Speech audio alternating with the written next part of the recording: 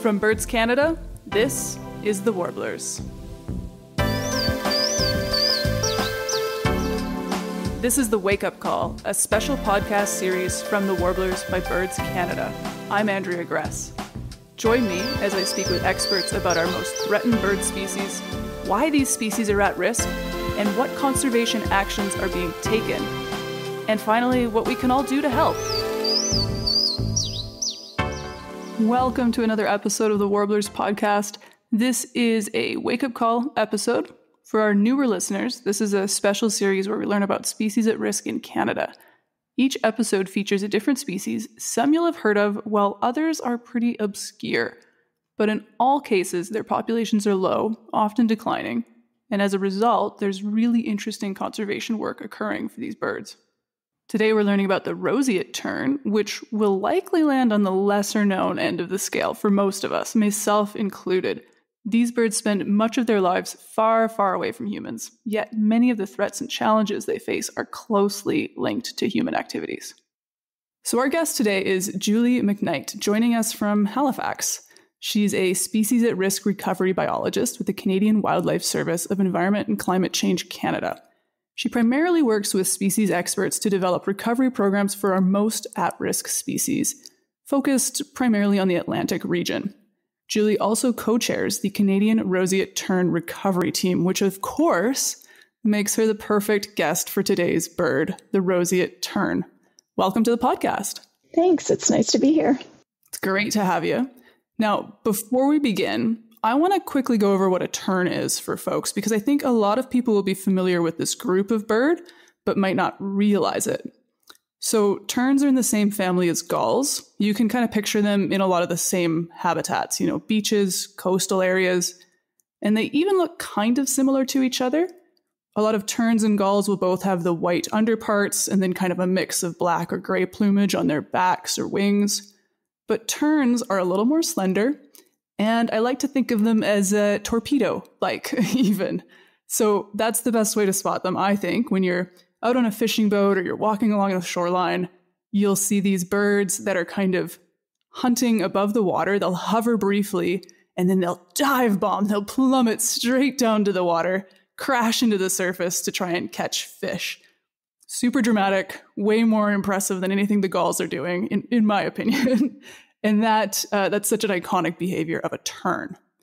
But of course, we're here today to talk about the roseate tern. So, Julie, if you could fill us in a little bit more about the mysterious roseate tern and why they're so spectacular and, and wonderful. Yeah, for sure. Um, so, roseates are super fine, super graceful, and they have this pristine white plumage. They have long tail streamers, white, um, at least in the breeding plumage. And in the right light, if you're in the perfect light, you can catch a glimpse of this gentle pink blush they have on their chest. I guess where the rosy comes from.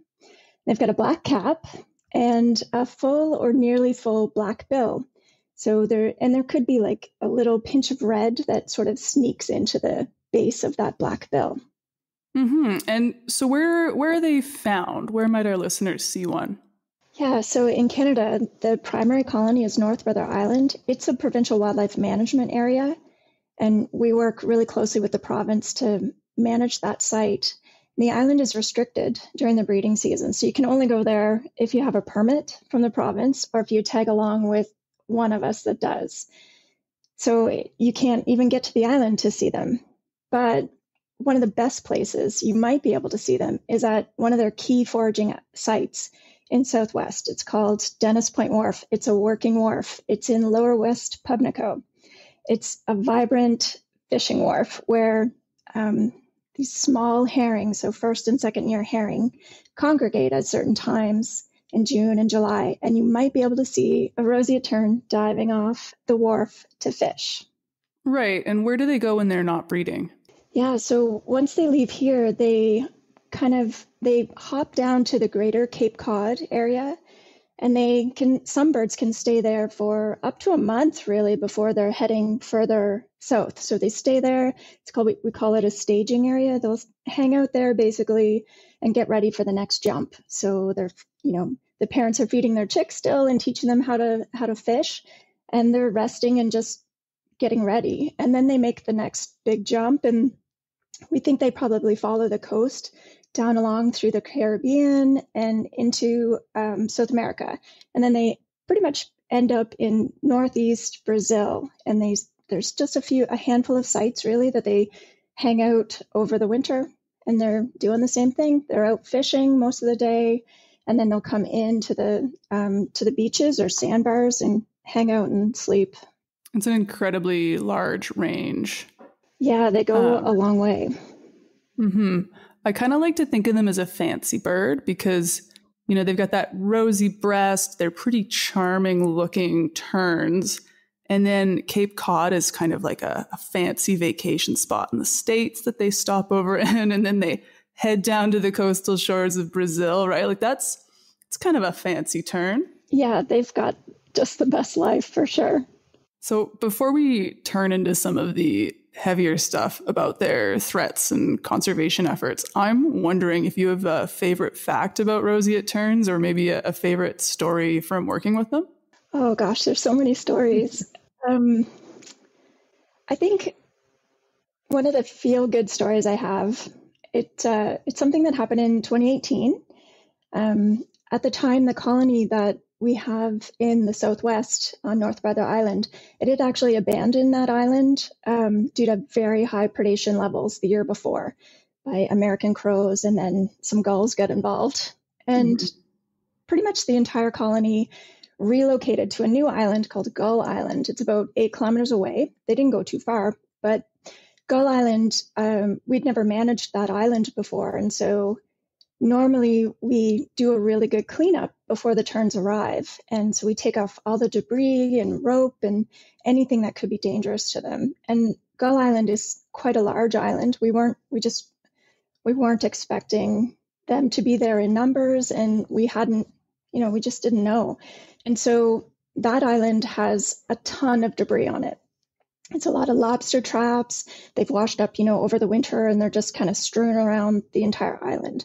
In some places, they're really embedded in the cobble. Um, and so we were out there in early June. So that's around the time when they should be nesting. And we were finding some nests. And but just early, it was very early, just a few eggs down, really.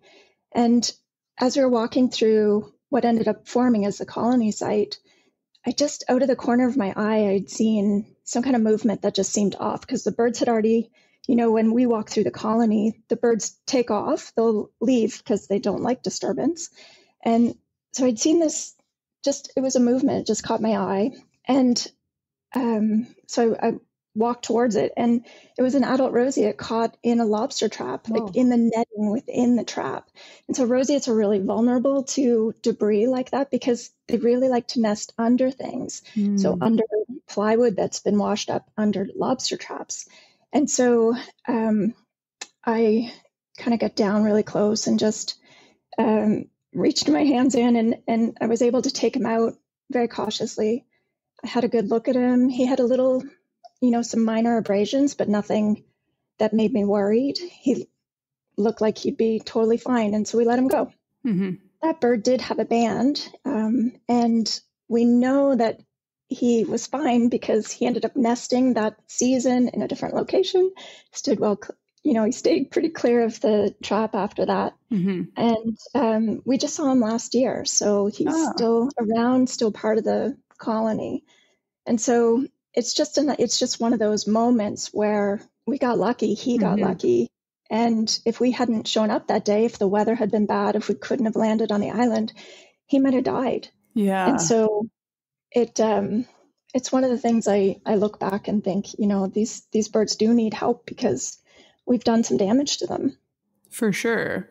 Um, it's kind of interesting that they like to nest under things. So, of course, that's dangerous if there's hazards like lobster traps washed up on the beach. Is it can that also be beneficial though for conservation? Like, would you be able to make um, sort of like a, a nest box or something that they would nest under to prevent predation risk? Absolutely. So um, the birds are are quite easy to work with in that way, and we know that shelters. So we put out a uh, a nest shelter and we do lots of different designs trying to figure out what they like the best. But here in Canada, we mostly use plywood shelters. They're just like a little box with a very small opening, and they go in and they lay their eggs within. It keeps predators away from them. It keeps um, the weather off of them, like too much sun, um, heavy rainstorms, heavy wind, that sort of thing that protects them from that. And it also, you know, where our birds are nesting, roseates always nest with other terns. They like the company, but sometimes company can be um, not so welcome. You know, they um, they fight they mm-hmm. fight at each other. They'll pick at each other if they're too close. Mm-hmm. And so, keeping you know having the roseates go into their shelter it keeps them away from all of that disturbance. It keeps their chicks contained so that the parents can um, keep a better eye on them, sort of thing. So we think overall the shelters um, help in in their conservation. Yeah, kind of an interesting um, dynamic with their their nest choices and the habitats they like. Yeah, absolutely. And so, like on a on a natural island, before we would put out shelters for them, they would nest under certain um, species. So, like angelica, that creates this beautiful, almost umbrella like shelter for them, or you know, washed up things, or mm-hmm. even beside rocks. So that year that they nested on on um, Gull Island, we didn't have shelters out for them um, in the first year. And they would, it's funny because you could really tell where the roseates are, and they're always kind of shinnied up beside a big rock or under debris or something. And it, uh, they definitely look for that. They seek that out, even if we don't give them shelters. They're looking for something. Mm-hmm. Speaks to how important it is to get out there and clear out anything that could be dangerous because they're going to try to nestle in underneath it. Yeah, exactly. So, could you talk about um, their connection to the ocean a little bit and some of the bigger threats to their population? Yeah, for sure. Um, you know, the ocean isn't a scenic backdrop for these birds. They're really tied to the ocean and it's their lifeline. It shapes their daily lives. Where they choose to nest, um, it's tied to where they can eat. And you mentioned earlier they, they eat they eat fish. And so the team on North Brother Island has shown recently that the birds that are nesting on North Brother Island are really only fishing at two spots. And we think that we might actually be seeing an impact of climate change on the birds and where they're where they're feeding. And so, you know, they're shallow plunge divers. They don't really dive very deep. They're really they really need the fish to come up to them in the shallow like in that upper part of the water. And so as the surface waters are heating up, like we saw this summer, the fish are likely moving deeper into the cooler water. They're staying down. And so if you don't have a place where, you know, you have like eddies or ripples or whatever that's pushing, or predatory fish, things that are pushing up the smaller fish that these terns eat, it's a struggle for them to get food. And of course, they are feeding their young when they're here. So it's just a really important time for them. I never would have thought of that kind of, you know, I mean, with climate change, there's all kinds of impacts, but just the way it's uh, affecting the fish. Yeah. And how that is in turn affecting the terns. Sorry for that pun. Oh my goodness. we get that a um, lot. yeah, I'm sure you do. So, climate change is really the big threat, right? It's one of the really big threats. Um, one of our you know, one of the things that really is concerning me right now is that we in Canada, we have three quarters of the roseate tern population on one very tiny island. So North Brother Island off of Lower West Pubnico. It's a, it's just the tiniest island. It's like the size of a city lot, very, very small. Wow. And we have, um, you know, 50 or 60 pair of roseates on that up to a thousand pair of other terns on that. So you can just imagine the density. They're they're really like bill to bill in some cases. They're in there tight. And this island is eroding and it's getting smaller as we go. It's just, you know, a couple of bad winter storms away from disappearing. And so where are they going to go? We don't we don't really have a great handle on where they can go if that island disappears. Mm-hmm. So that's a really big concern. And then these birds, I think I mentioned it earlier, they are kind of fragile. They're facing significant challenges even today. They've got this really small population size. We've only got I think we're about 80 pair in Canada right now, and they're concentrated at just a few key sites. And that really increases the risk that we could lose them from Canada.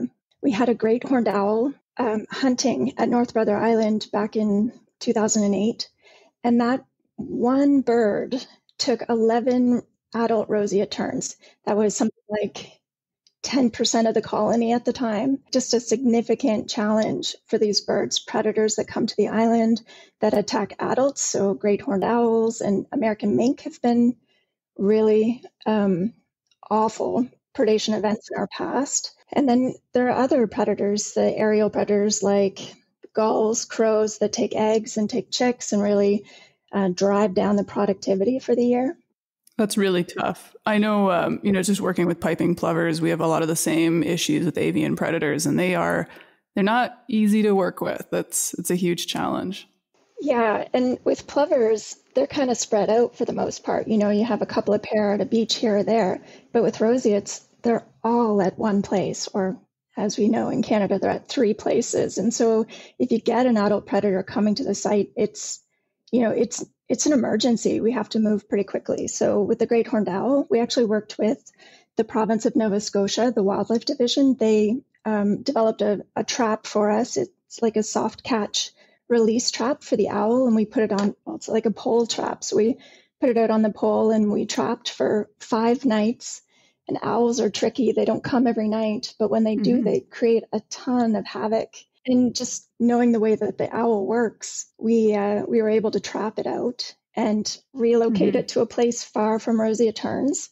So that worked. But there have been other cases where we've had American mink come to the colony, and they can American mink are really hard to deal with because they can surplus kill. So they can kill a hundred terns in a couple of nights. And so if you don't catch them quickly, they can just you know kill off all the birds in one colony if it's mm-hmm. small enough. And because I, I, imagine you're not out at the colonies on a regular basis, right? Like the you must you can't be out there every day. Well, yeah, that's true for North Brother Island. It's a you know just a tiny, tiny site, and so we can't even spend a lot of time there. We go um, for a few hours. We have blinds out there, so we give the birds a break from our presence. But the island is just too small for us to stay because it just causes so much disturbance. But then on Country Island, which is managed directly managed by the Canadian Wildlife Service. We have a crew that stay out there. That island is is um, managed by Jen Rock. She works with the Canadian Wildlife Service, and so she has a team out there who are able to live on the island, and they can go into the colony as they need to. Of course, we have rules about when you can go in the colony, and mm-hmm. like you know, it has to be a certain temperature, the wind has to be a certain degree, and and uh, and no wet vegetation. It's all to protect the birds. I can kind of picture what it might be like going into a tern colony. That's got to be chaos. Could you describe it a little bit for folks? Yeah, absolutely. Chaos is the perfect word for it. Honestly, it is. Um, it can be really overwhelming. It is so loud and so much vibrancy and so much movement.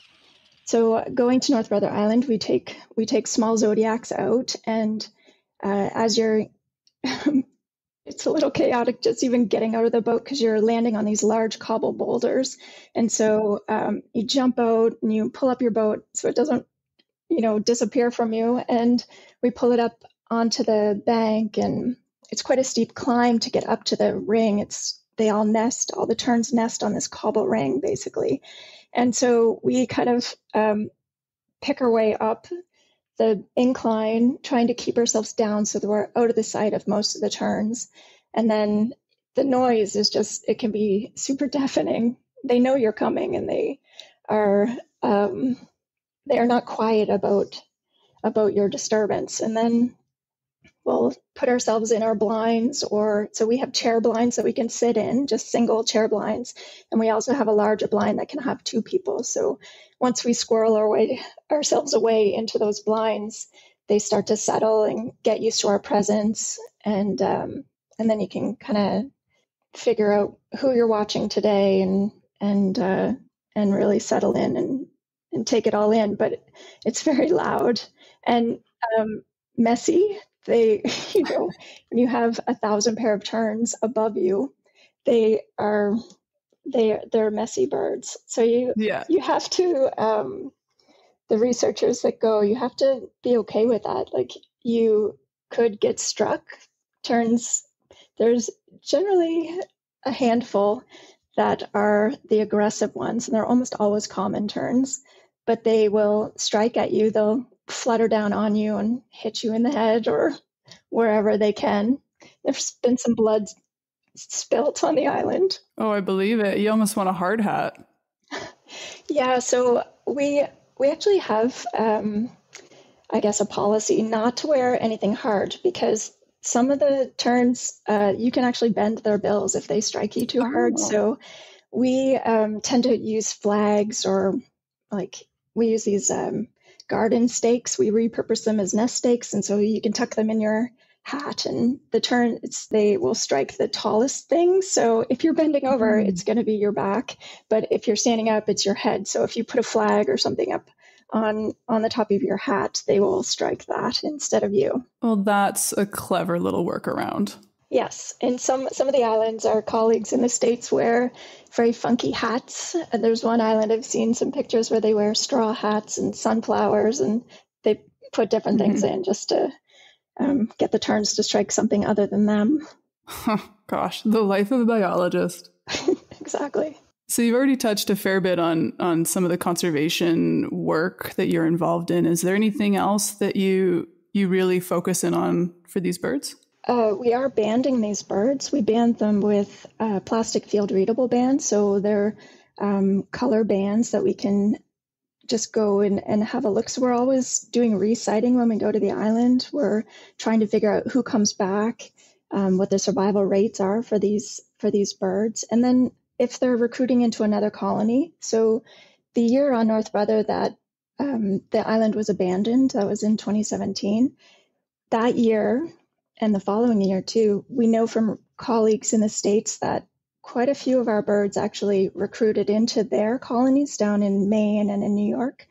And it's all it's the young ones. So roseates take two to three years to come back to recruit into the breeding population. And those two years, we had more birds recruit into the US population than into our population. So we lost a few birds.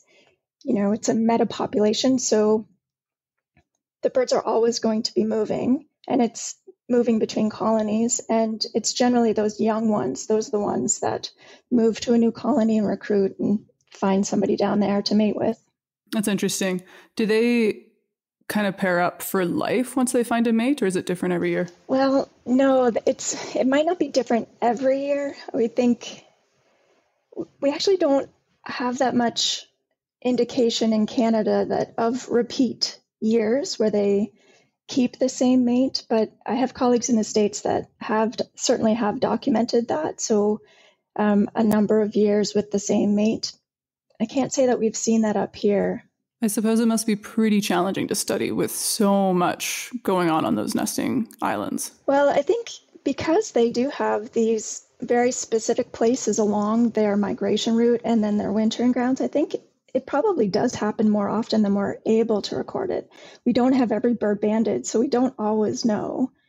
But we, um, through some of the work one of my colleagues has done in the States, they've been able to show birds actually pairing up on the trek north. So they're in the Caribbean and or, you know flying through the Caribbean or even in northern South America and the pairs like they seem to be traveling together and so who knows maybe they're finding each other on the wintering grounds or during migration and and they have whatever they have as a conversation and and end up on the colony together and, and make a go of it that's actually very, very cool because it's not that typical that birds would be doing that.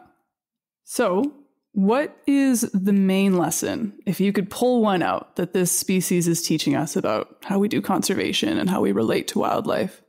I think roseates do offer us a valuable lesson in conservation. I think they highlight, at least for some species, the need for active, targeted management to secure survival. Um, They've had some historical threats. So in the early 1900s, late 1800s, they were highly prized for their feathers. As you know, they have the most beautiful feathers. And roseates have they had enough resilience that they overcame that. We we didn't lose them. They weren't They weren't extirpated at that time, but they still face a lot of challenges. And yet, with a little bit of help from us, so protecting their habitats, providing shelters for them, managing predators, it's just a small amount of help that they can succeed. But they're not the kind of endangered species that you can just protect their habitat and walk away and they'll be fine. It's not enough. Yeah, it sounds like the threats are so much larger scale. Yeah, exactly. I, I think that's because because they are so um, concentrated at their it it just increases their vulnerability, right? And so roseates and species like roseates, they really remind us that conservation is an active commitment. It requires effort and care, you know, and it also requires this species in particular really requires us to be adaptive. And so things like in the last couple of years, we've through through some connections in Brazil, we've identified a spot where the roseates, as they come in from feeding all day and out in the ocean, they come in to rest at night on these sandbars. And in this one particular place, they're hitting a power line that goes across a beach. And quite a number of roseates have been maimed, either killed or damaged beyond repair. And so, you know, this is something that we hadn't even, you know, wasn't on our radar until mm-hmm. our partners got in touch with us, and and now they are actively working with company with the power company and, and the communities to mark the lines and monitor and try to figure that out and then so that's like on the on the wintering grounds but even here in canada and in the United States, um, avian influenza has started to rear its ugly head. We've been really lucky that it hasn't it hasn't shown up at any of the any any of our active colonies, but it's really like it could happen at any moment. The tern colonies in the UK have have really seen just a disaster year with avian influenza, and we need to stay vigilant. We have to keep our eyes on these sites and make sure that the birds are doing okay. Yeah, it's an awful lot to think about and worry about there. Um, but so interesting to hear about the the value of that international collaboration, right? Like these birds are, you know, there's only so much we can do here on the breeding grounds, and then they're gone for so much of the year. So it's so important to work with other partners in other countries. Yeah, that is so true. We, you know, we we often call them our birds, but they're not our birds. Mm-hmm. They're here for two, yeah. two and a half months. And this is a, you know, obviously for us to have roseates, they have to breed. So this is a very important part of their life cycle. But then they leave here, they end up in Cape Cod and they're there for a month and then they leave there and they're, you know, they eventually end up in Brazil and, and they spend a significant amount of, of time in Brazil and what they're facing there. We're just really um, figuring all of that out right now. So, for listeners who might want to help out the roseate tern, do you have any actions that they could get into or things they could learn about? Roseates are definitely one of the harder species at risk for the public to interact with. They're secretive by nature. They choose sites far away from people, and they do that on purpose. There are a couple of ways that people can can help them out obviously, if you're someone who has access to a boat and you live on the coast, avoiding nesting islands during the breeding season, so from May until July. And then in southern Nova Scotia, the roseates, when they leave North Brother Island, the adults will go off with their chicks. Their chicks are flying at this point, and they're not quite ready to head south. They're hanging out basically before they make that hop. And the parents will sometimes park roseates their chicks at uh, at local beaches, and then they'll go off and forage. So go off to fish out in sea, and so the chicks are just kind of hanging out on the beach. It's a really important time that people, if they're on the beach, the beachgoers, their dogs, if they can give those birds a lot of space and just not disturb them, because every time they fly, it takes energy. But even worse than that, it's that if the chicks get moved too far from where their parents left them, there's a real danger that their parents won't be able to find them again. Mm-hmm.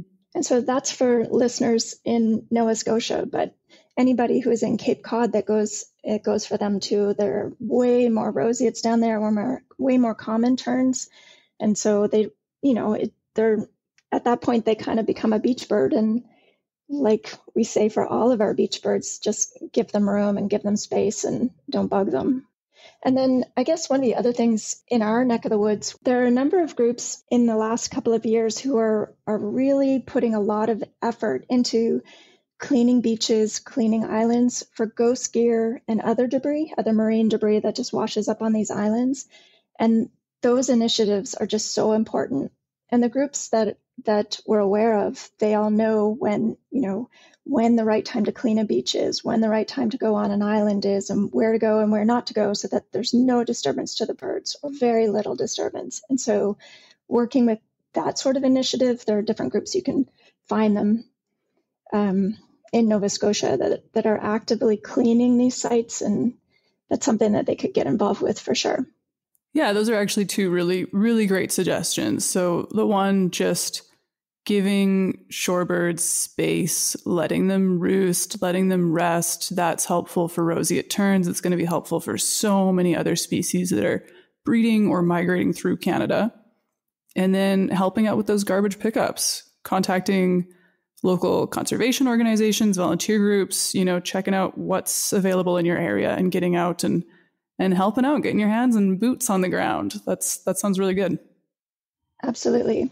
And then for any of your listeners who are amazing photographers and have the big zoom lens, like a 500 millimeter lens, um, we are always really interested in seeing pictures of our birds where they are, especially if they're banded. And like I mentioned, they we have been in Canada putting on these little pa- plastic field readable bands, so they have a a code, an alphanumeric code on them. And so being able to know what leg that band is on, what the code is, if you can get it, what color it is, that's all really helpful in knowing um, where our birds are, where they end up, and, and how they're doing.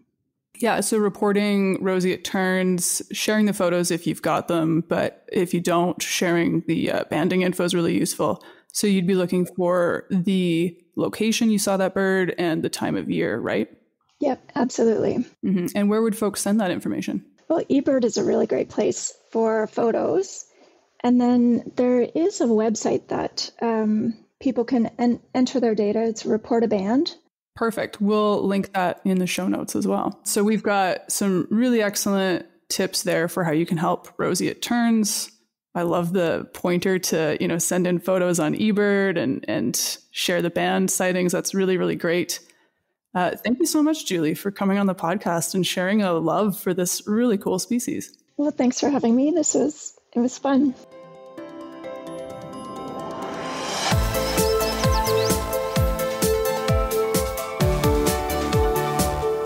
Warblers is a podcast of Birds Canada.